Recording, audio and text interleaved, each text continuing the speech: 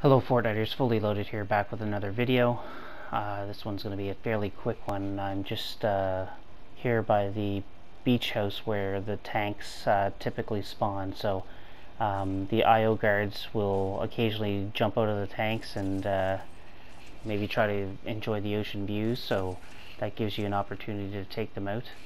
So that's what I'm doing here and uh, I'm trying to do the challenge uh, to damage the tanks um, to get those armor pieces off uh, as part of the the challenges that are um, you know uh, that are available right now. So uh, with the tank um, unoccupied it makes it easy um, to damage it. So you, I, I just ran up here and started meleeing it. And uh, yeah you can see this is what this looks like when the armor breaks off.